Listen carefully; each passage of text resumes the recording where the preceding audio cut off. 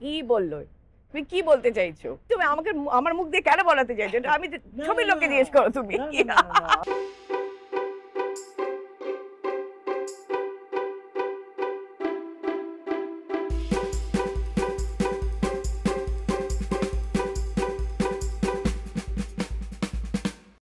I liked you. That's the reason why I came here. এই চ্যানেলটার নাম হচ্ছে সিনেমাওয়ালার দল। আমরা সবাই সিনেমাওয়ালা দলের মধ্যেই পড়ি আমার মনে হয়। হ্যাঁ ওই জন্যই নামটা এরকম রাখা। বারণ বারণ শুনুন এই শোটার নাম কেস্তোকা মিক্সটেপ সেই কেস্তোকা মিক্সটেপের এই এপিসোডে তোমাকে স্বাগত। আমরা একদম ইনফর্মাল ক্যাজুয়াল আড্ডায় যাই ওপেন হার্ট টু হার্ট আমি অলরেডি দেখতেই পাচ্ছ এখানে বসে বসে সুন্দর মশালা থামস আপ খাচ্ছি ডোনাটেলা লাউঞ্জে সো তো ব্যাস। It's already informal and see thank you for the wonderful salad আমি মানুষকে এটাই দেখাতে চাইছি I am still health conscious আমি এখন স্যালাড খাচ্ছি। খাসফুস তো খাবার খেতে খেতেই আমরা কথা বলি যেহেতু একদম ক্যাজুয়াল আড্ডা এখানে দেখেই ব্যাপারটাকে সুন্দর করে দেখি ছবি ফবি তুলবো আমি করব। আচ্ছা আচ্ছা। তো ছবি তুলতে তুলতেই আমরা আড্ডা করব কোনো অসুবিধা নেই। হ্যাঁ হ্যাঁ আমি তো ইনফর্মাল আড্ডায় আছি বলছি তো। আই লাভ দ্য ডেকোরেশন সুতরাং আমি ছবিটা তুলছি হ্যাঁ? এই যে একটা একটা জিনিস হয় না যে প্রত্যেকটা খাবারের পেছনে একটা বন্ধু বসে থাকে এরকম ভাবে অপেক্ষা করে যে ছবিটা তোলা হলে খাবে। হ্যাঁ। এখন নিজেই অপেক্ষা করছে নিজেই পরে খাবে সেটা ছবিটা তোলার পরে। না ও অপেক্ষা করছে যে আমার পেটে কখন যাবে। এবার আমাকে একটা কথা বলে যখন ভিলেনের চরিত্র করো তারপরেই যখন একটা পজিটিভ চরিত্রের রেসপন্স পায় কোন একটা পজিটিভ চরিত্র করলে সেটাও একটা রেসপন্স পেল কোনটা সবচেয়ে বেশি ভালো লাগে তোমার? আমি যে এখন ফিডব্যাকগুলো পাচ্ছি সেগুলো খুব পজিটিভ যে তুমি তুমি যখন নেগেটিভ ছিলে তখন মনে হচ্ছিল যে এই বন্দুক নিয়ে দাঁড়িয়ে পড়লে মেরে দেবে কারণ লাইসেন্স গান আছে ওর কাছে। আর তারপরে তোমার এই চেঞ্জটা যে তখন এবার তুমি মা বলে মানে মেয়েটিকে মা বলছো নিজের তো এই জার্নিটা খুব beautiful so this is the negative it negative বলে কিছু হয় না জানো তো? মানে ইট ইজ লাইক একটা চরিত্র আমাদের তার মধ্যে তোমার ডার্ক সাইডস থাকবেই। And you know better sides এটা তো লড়াই যে নিজের অশুভ জিনিসগুলোকে মারারই লড়াই যাতে we become better human beings আমি এবার একটুখানি টেলিভিশন থেকে বেরোই আসি এবার সিনেমার কথায়। বাহ খুব ইন্টারেস্টিং বিষয় বলো। সেটা হচ্ছে যে যে জিনিসটা সাউথ দেখাতে পারে সেই জিনিসটা আমরা এখানে এখনও অবধি কেন দেখাতে পারছি না? সাউথ খুব রুটেড সাউথ খুব রুটেড প্রথম থেকে। ওদের মধ্যে তুমি দেখবে যে অধিকাংশ ওদের কাজগুলো করা হয় বীর রস নিয়ে। ওরা বীর মানে বীরকে বীরের মতন দেখাবে। আমাদের ভারতবর্ষ বীরের মানে বীরের দেশ। সেখানে তো আর মেউ মেউ কেউ করতে পারে না। সুতরাং আমাদের যেরকম পশ্চিমবঙ্গের প্রচুর বীর আছেন তাদের গল্প আসছে। সেরকম সাউথেরও প্রচুর বীরদের গল্প আসে। আমি এখনও প্রশ্নটার অরিজিনাল জায়গাটা দিয়ে পেলাম না। কি বলল? তুমি কি বলতে চাইছো? বলতে যেটা চাইছি তুমি আমাকে আমার মুখ দিয়ে কেন বলাতে চাইছো? এটা আমি ছবির লোককে জিজ্ঞেস করো তুমি। না আমি তোমার মুখে বলাতে চাইছি না আমি জাস্ট একটা খুব সহজ প্রশ্নে আসছি। সেটা হচ্ছে যখন আমি বিক্রম দেখতে বসলাম তখন দেখলাম একটা থলথলে চেহারার ভিলেন এসে দাঁড়াল ক্যামেরার সামনে। হ্যাঁ সেতুপথি। দাঁড়াল? এইটা বাংলা সিনেমায় কেন আসবে না?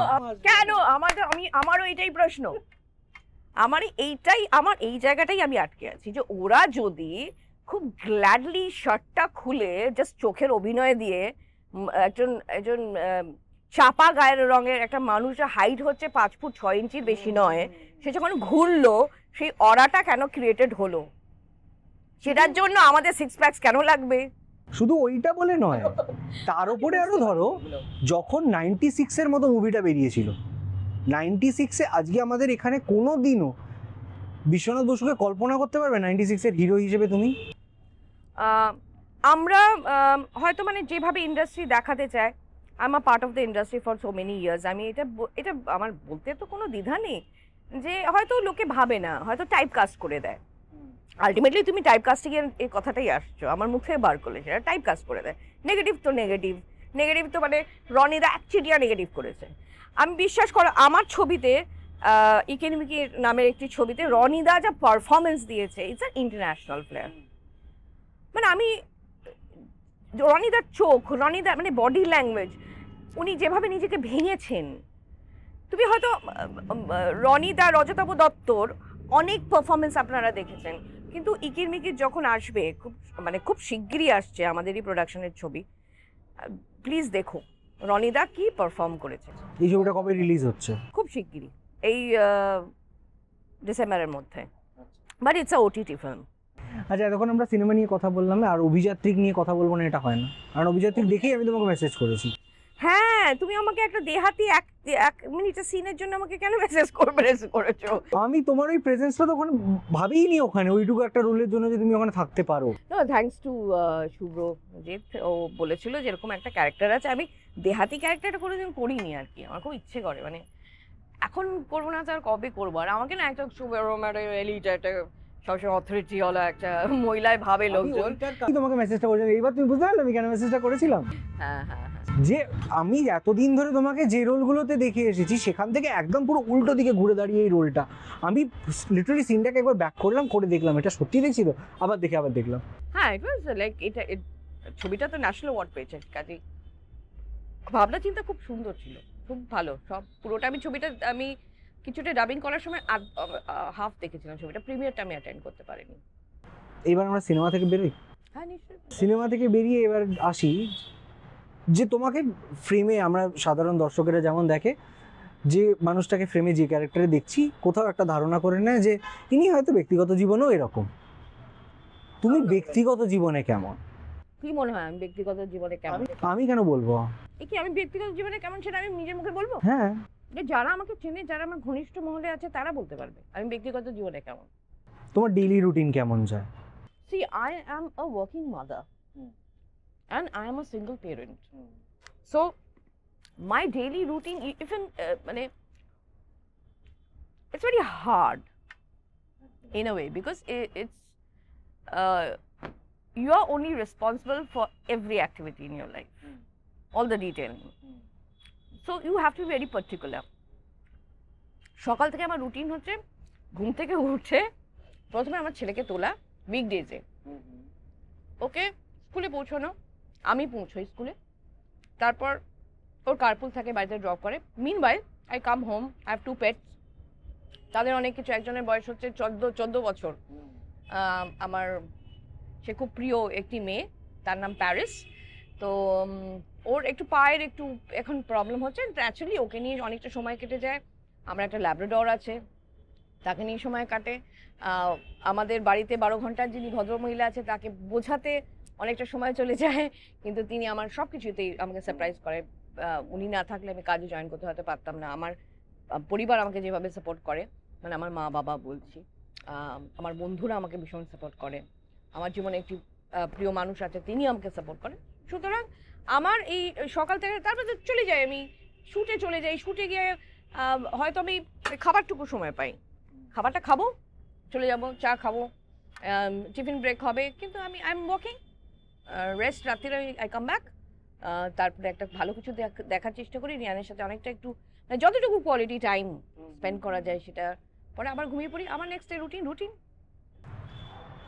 আচ্ছা একটা টাইম বলো আমাকে। যখন শান্ত হয়ে একা বসছো, তখন নিজের দশ বছরের পেছনের একটা যে রূপাঞ্জনা, তাকে কি কথা বলতে ইচ্ছে করে? দশ বছর পেছনে রূপাঞ্জনাকে একটাই কথা বলতে ইচ্ছে করে যে যা যা হয়েছে, দশ বছর আগে বা যেভাবেই হয়েছে, সময়টা আলাদা ছিল, এখনকার সময়টা আলাদা। তুমি যেভাবে এগিয়েছো তোমার পেসটা ঠিক আছে। তুমি অতি লোভ করনি তুমি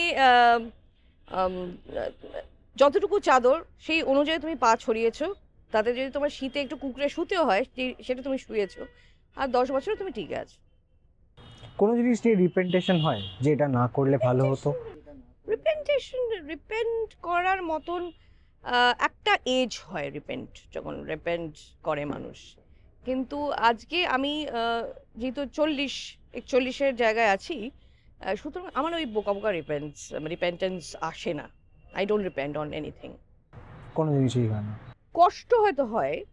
কষ্ট রিপেন্টের মধ্যে মানে হাহুতাশ করব সেটা নিয়ে এবার ইস না ওটা হয় না। এই যেটা তুমি বললে এই জায়গাটায় ঢোকাটা ঠিক হবে কিনা আমি জানি না। যদি না হয় তুমি আমাকে থামিয়ে দিও। যে তুমি বললে যে সিঙ্গেল প্যারেন্টস যেদিন এই জার্নিটা শুরু হলো তার আগে তো অনেকটা ডিসিশন নিয়েছিলেন মনে মনে হয়তো? সেই ডিসিশনে যখন জার্নিটা চালু হলো যে আজকে থেকে এই মানুষটার কমপ্লিট দায়িত্ব আমার উপরে সেই দিন মাথার মধ্যে কি চলেছিল এক্স্যাক্টলি আমার প্রথম থেকেই কমপ্লিট দায়িত্ব আমার উপরেই ছিল। সুতরাং আই ওয়াজ লাইক আমি কাউকে তো ব্লেম করে কোনো কিছু বলতে পারব না বা I chose my life I chose that point of time I had a choice so I chose to be a single parent because I thought যে এটাই এখন বেটার হবে। এটা এখন বেটার হবে। কারণ আমি আরও অনেক কিছু শিখতে পারব। আমি কাউকে তার রেসপন্সিবিলিটি হয়তো বোঝাতে পারব না। সে হয়তো সময়ের সাথে শিখবে। কিন্তু আমি তার সাথে তর্কে না গিয়ে আমি নিজেকে আলাদা করে আমি আমার রেসপন্সিবিলিটিগুলো পালন করব।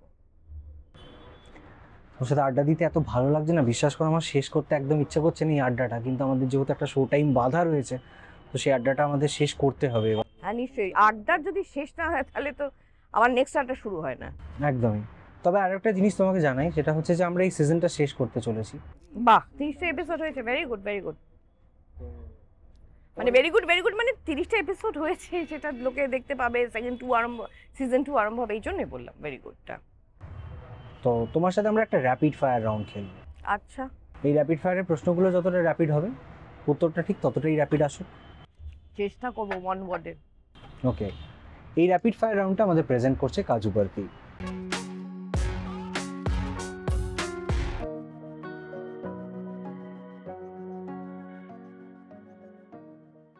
ধানবাদ ব্লুজ নাকি সুন্দরবনের বিদ্যাসাগর?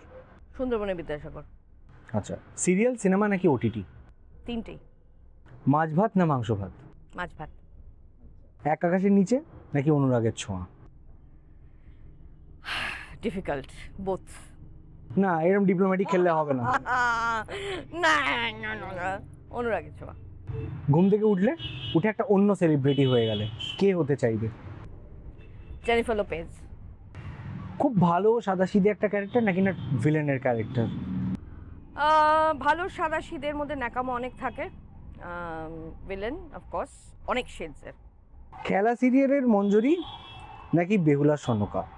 ও বাবা এটা খুব ডিফিকাল্ট আমার আবার দুটো মঞ্জরি আমার কাছে খুব রিয়েলিস্টিক একটা ক্যারেক্টার আর সনকা আমার কাছে খুব মানে একটা সাজানো মানে সনক- সনকাকে প্রাণ দিতে খুব কষ্ট পেতে হয়েছে আর কি।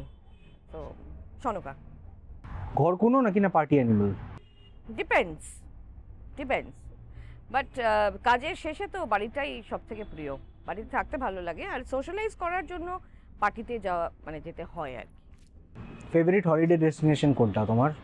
এই হলিডে ডেস্টিনেশন মানে যেগুলো আমি অলরেডি কাটিয়ে এসেছি। দেন সিকিম সিকিমের মধ্যে লাচুং অ্যান্ড মানে ওখানে গিয়ে থাকতে পারলে আমার খুব ভালো লাগে। আর যেখানে যাওয়ার ইচ্ছে আছে সেটা? বাবা মাকে নিয়ে এখন এখন কাশ্মীর যাওয়া হয়নি জানো? অ্যান্ড বাবা মাকে নিয়ে আমার খুব ইচ্ছে আছে কাশ্মীরে যাওয়ার। নেক্সট ইয়ার এপ্রিল প্রবলি দেখা যাক সব ঠিক হয়। কি গিফট দিচ্ছ? এইটা এটা দেখাবো না তো। ও আচ্ছা। এইটা এটা তুমি নিজে হাতে যখন দেখবে তখন ওই যে সেই সারপ্রাইজ একটা মুখ করে লোকে। হ্যাঁ। তো তোমার থেকে এত সুন্দর সুন্দর উত্তর পেয়ে কাজু বরফি খুশুয়া খুশুয়া আচ্ছা। আমি কাজু বরফি খেতে খুব ভালোবাসি। কাজু বরফি তোমার জন্য একটা খুব সুন্দর গিফট পাঠিয়েছে। ও।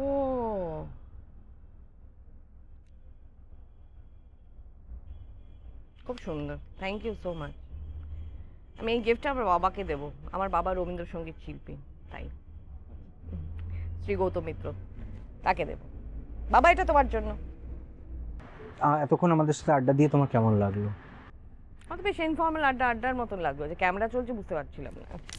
দ্যাটস ইউর ক্রেডিট তো আজকের আড্ডা আমরা এখানেই শেষ করছি। আবার পরে নিশ্চয়ই কোনো একটা আড্ডায় দেখা হবে তোমার সাথে। নিশ্চয়ই নিশ্চয়ই দেখা হবে কাজ হবে একসাথে হয়তো। হুম এটার আমার খুব ইচ্ছে আছে। এটা তুমি আমাকে বললে এটা আমার খুব ভালো লাগল। হ্যাঁ এটা এটা এটাই তো বলা উচিত। This is how law of attraction works তো আজকের আড্ডা আমরা এখানেই তাহলে শেষ করলাম। কি আমরা ওই সিগনেচার টোনে শেষ করব? তুমি কি চাইছো? না আমরা এই আড্ডাটা শুরু হলো সবে। হ্যাঁ এটা এটা চ্যাপ্টার টু এর জন্য এরকম ভাবেই রেখে দিই। হ্যাঁ এখানেই তোলা থাক।